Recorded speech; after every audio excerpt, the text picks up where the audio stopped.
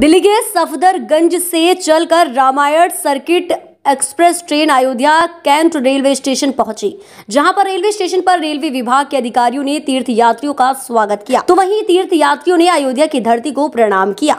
आपको बता दें कि Ramayan circuit express train Ayodhya Dham railway station नहीं आ सकी। आपको बता दें कि अयोध्या में रेलवे स्टेशन रिनोवेशन का काम पर चल रहा है। 132 यात्रियों को अयोध्या कैंट रेलवे स्टेशन से बस के माध्यम से धर्म की नगरी अयोध्या में दर्शन पूजन कराया जाएगा। आज अयोध्या के सभी प्रमुख मठ मंदिरों और तीर्थ स्थलों का श्रद्धालु दर्शन भी करेंगे। कल नंदीग्राम के लिए रामायण एक्सप्रेस के तीर्थ यात्री रवाना होंगे। अयोध्या पहुँचे तीर्थ यात्रियों ने मोदी जी का आभार प्रकट किया है। उनका कहना है की अयोध्या आने का हमें ये सौभाग्य मिला है।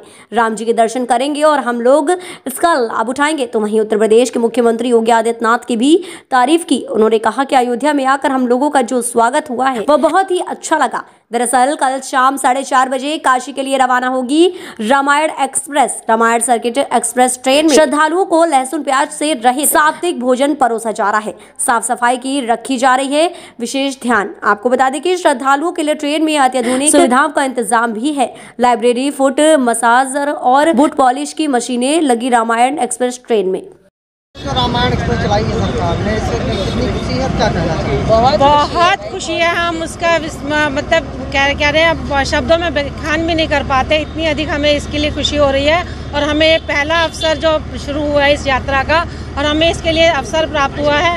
हम इसके लिए अपने आप को सौभाग्यशाली मानते हैं।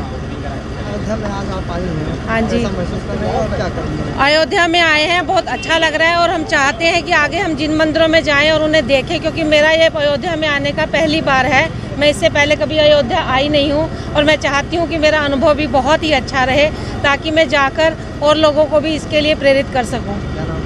मेरा नाम नीलम टक्कर है। हाँ, मोदी जी का बहुत बहुत आभार है कि आज हमें ये सौभाग्य मिला है जिसकी वजह से हम यहाँ अयोध्या आए हैं। और राम चंद्र जी के रामलला के दर्शन करेंगे और उसका लाभ उठाएँगे। प्रदेश की योगी सरकार प्रदेश की योगी सरकार योगी जी के योगी जी। के योगी जी के यहाँ आने के बाद भी हमारा अयोध्या में जो स्वागत हुआ है बहुत अच्छा लगा हमें। मंजू शर्मा।